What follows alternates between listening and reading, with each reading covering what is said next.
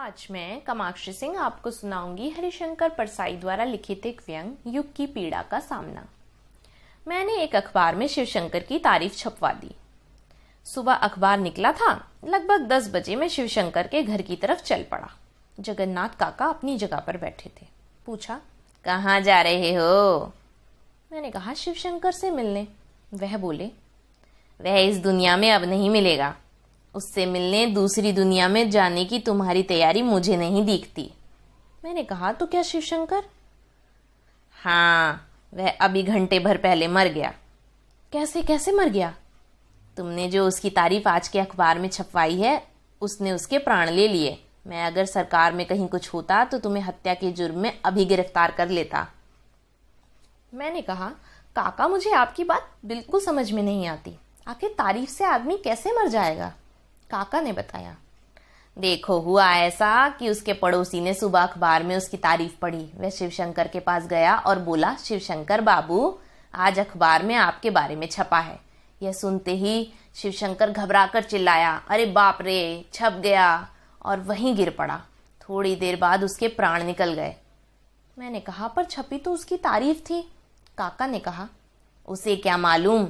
तुमने उसे पहले बताया तो होगा नहीं। वह समझा कि जिस बात के छपने से वह डर रहा था, वह छप गई। देखो, जमाना इतना खराब आ गया है कि बिना पहले सूचित किए किसी की तारीफ़ भी नहीं करनी चाहिए। किसी पर दया करनी है तो बता कर करो।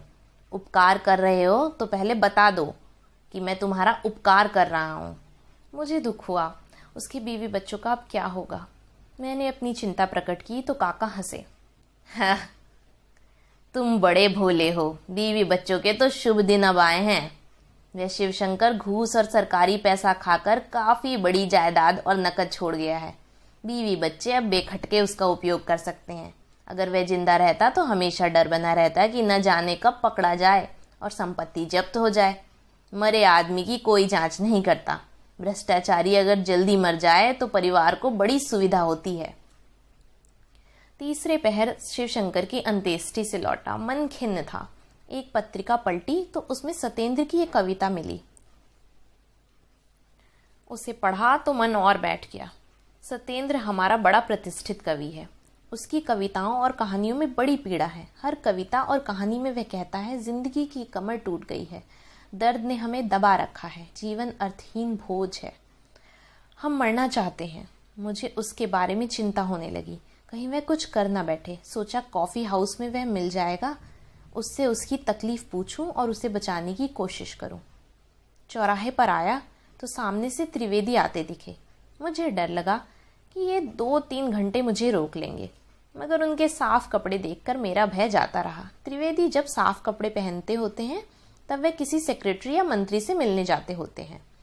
तब वह औपचारिक दुआ सलाम करके छोड़ देते हैं। मगर गंदे कपड़ों में त्रिवेदी फुर्सत में होते हैं और दो तीन घंटे रोक कर बातें करते हैं। कभी मैंने सोचा था कि इनके कपड़े मैं धो दिया करूँ, जिससे यह हमेशा बड़ों से मिलने जाया करें और हमारा वक्त न ले। पर डर यह है कि जब मैं कपड़े धोने इनके घर जाऊँगा, तब तो यह गंदे कपड़ों में होंगे और पकड़कर बिठा लेंगे। त्रिवेदी साहित्य की लिफ्ट में चढ़कर बटन दबाकर सरकारी नौकरी की ऊँची मंजिल पर पहुँच गए हैं। साहित्य उनसे छूट गया है, क्योंकि साहित्य का काम अच्छी दुकान या अच्छी नौकरी लगने तक ही होता है।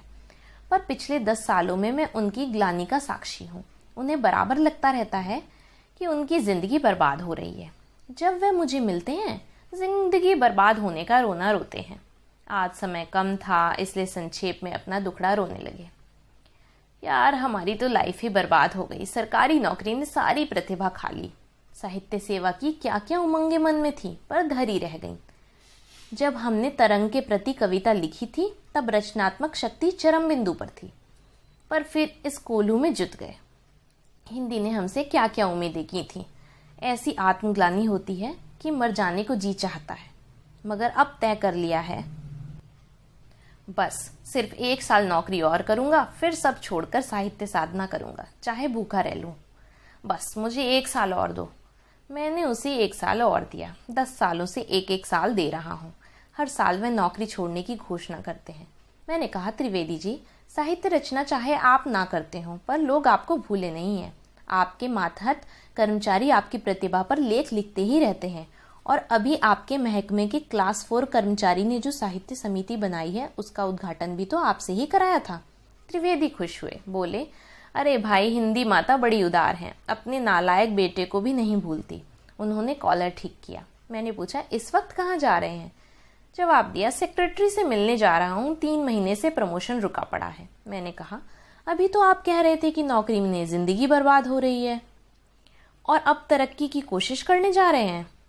वह बोले, अरे यार, अब ज़िंदगी बर्बाद ही होनी है तो उसे प्रमोशन पर बर्बाद क्यों न किया जाए?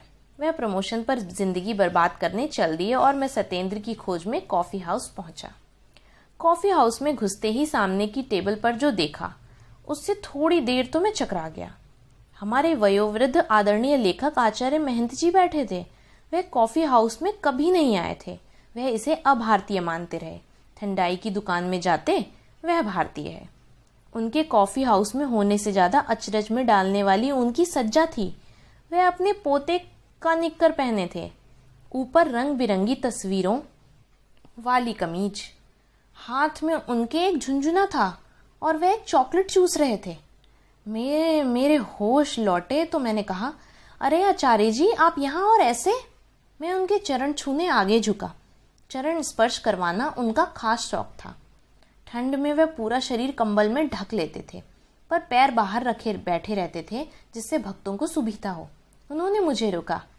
अरे अरे, यह क्या करते हो? मैं प्रौढ़ नहीं हूँ, बच्चा हूँ। मुझे आशीर्वाद दो, मैं तो उदीयमान हूँ। उन्होंने झुंझुना बजाया और कहा, हमें चॉकलेट खिलाओ। मुझे लगा कि आचार्य जी पागल हो गए हैं। मैंने कहा, मगर यह क्या हो गया है आपको? किसी नए लेखक ने कुछ खिला तो नहीं दिया? वह बोले, नहीं, मैं अपनी मर्ज़ी से ही बालक हो गया हूँ। देखता हूँ कि इस जमाने में नए का बोलबाला है। तो मैं भी नया बन गया, तुमसे भी छोटा बन गया। मैं झुंझुना बजाता हूँ, चॉकलेट खाता हूँ। यानी नए से भी नया और मॉडर्न भी हो गया हूँ। यह शर्ट देखो, नंगी औरतों की तस्वीरें छपी हैं और लिखा है, love me love me love me. मैं उन्हें हैरत से देखता रहा और वह बच्चे की तरह बोले, अंकल, हमें चॉकलेट खिलाओ ना। मैंने कहा, आचार्य जी, यह तो ठीक है, पर लिखने के बारे में क्या कर रहे हैं? उन्होंने कहा, लिख भी नया रहा हूँ, जो लिख चुका हूँ, उसे फिर से लिख रहा हूँ, मगर हिज्जे और वाक्य विन्यास की गलतियाँ करता जाता हूँ, वह नया हो जाता है। थोड़ी देर उनके पास बैठकर मैं कोने की टेबल पर बैठे सत्येंद्र के पास पहुँचा। मैंने कहा, वह तो एक वयोवृद्ध कवि हेमंजी बैठे हैं, उन्हें जानते हो ना? सत्येंद्र ने कहा, कौन कवि? कवि तो हमसे पहले कोई हुआ ही नहीं। कविता तो मुझसे आरंभ होती है। मैंने कहा, पहले कोई कवि नहीं हुआ। तुलसीदास, सूरदास, कालिदास, ये भी नहीं। सत्येंद्र बोला, ये कवि कहाँ थे?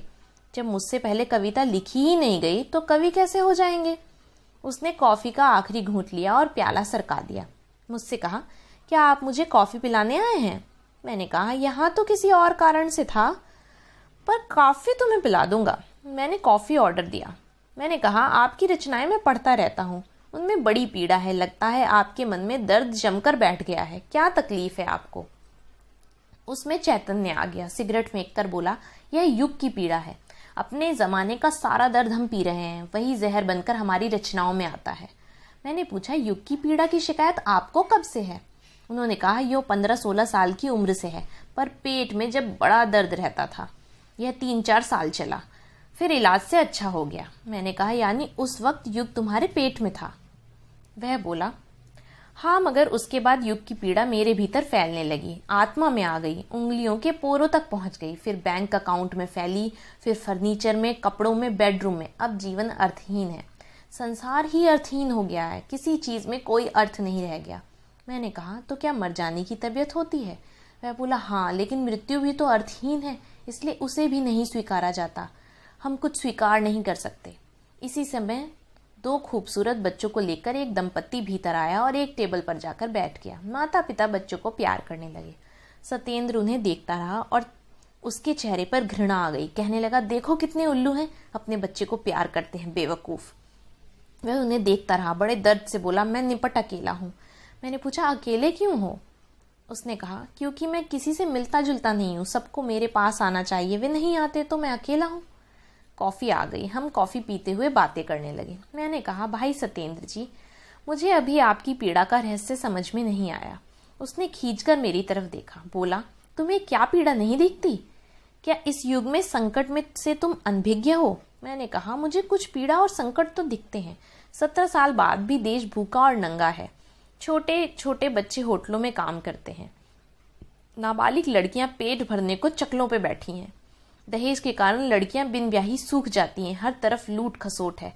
साधारण आदमी का कई तरफ़ से खून चूसा जा रहा है और कोई बचाव का रास्ता नज़र नहीं आता।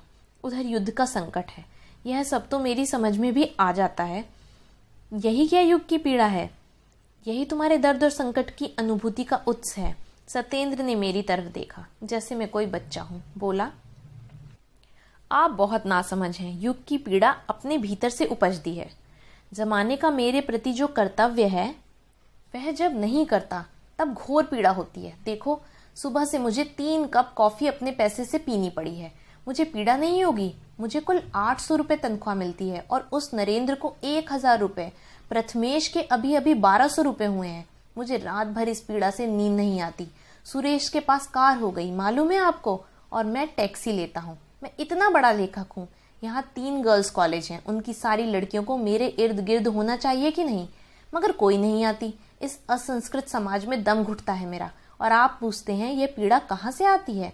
हम इस सारे जहर को पीते जाते हैं। दुनिया अर्थहीन हो गई है और लोग कहते हैं कि खाते पीते हैं। शादी ब्याह रचाते हैं, बच्चे पैदा करते हैं और बच्चों को प्यार करते हैं। सब सब गंवार, जड़ और संवेदनशील हैं। सॉरी संवेदनहीन है। सत्येंद्र बहुत क्रोध में आ गया था। उसने एक घुट में सारी कॉफ़ी निगल ली और कप ज़ोर से पटक दिया। उसके मूड को देखकर ऐसा लगता था जैसे वह अभी जाकर रेलगाड़ी के सामने गिर जाएगा। मैंने उसे शांत करने की कोशिश की, कहा, बंधु, ज़्यादा मत घुटो, कहीं पेट का दर्द फिर न उभर जाए। मुझे बताओ, मैं तुम्हारे लिए क्या कर सकता हूँ? वह बोला, आप मेरे लिए कुछ नहीं कर सकते। आप जाइए, मुझे अकेला छोड़ दीजिए, मैं आपसे घृणा करता हूँ। मैं उठ लिया। आचार्य हेमंत के पास से निकला तो उन्होंने पूछा